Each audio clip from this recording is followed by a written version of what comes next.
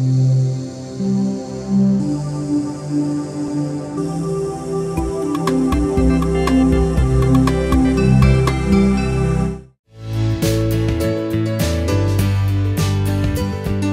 Gospodine Marijane, e, činjenica je da se u posljednje vrijeme sve više i više, bar nažalost, e, malih poštanskih ureda gasi na otocima i na ruralnim područjima. U cijeloj ovoj priči oko e, ugradnje širokopojasnog interesa, kako vi vidite rasplet ove situacije? Pa u svakom slučaju mreža poštanskih ureda za koje je zadužena Hrvatska pošta kao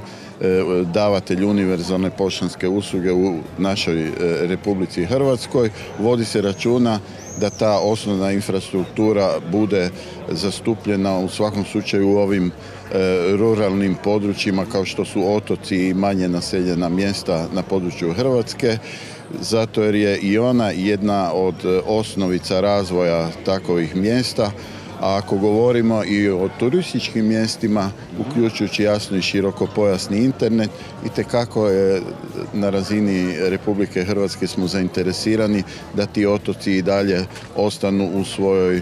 funkciji, da bude osnovna infrastruktura na koju će se nadograđivati i stvarati uvjete i za razvoj turizma, a što je najvažnije i za ostanak e, građana i stanovnika na tim područjima koji bi stvarali određene nove ponude i jasno i razvijali na taj način turizam. Koji je vremenski period možda realizacije ovih projekata koje vi gorate? S obzirom da smo sad članica Europske unije, Republika Hrvatska i ti standardi održavanja i razvoja osnovne infrastrukture su vrlo aktualni,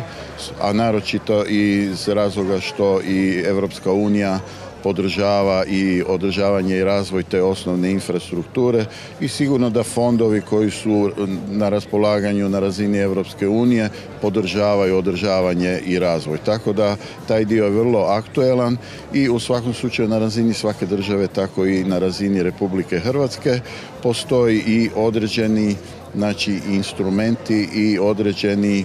E, znači suport e, za održanje te osnovne infrastrukture i na manje naseljenim područjima.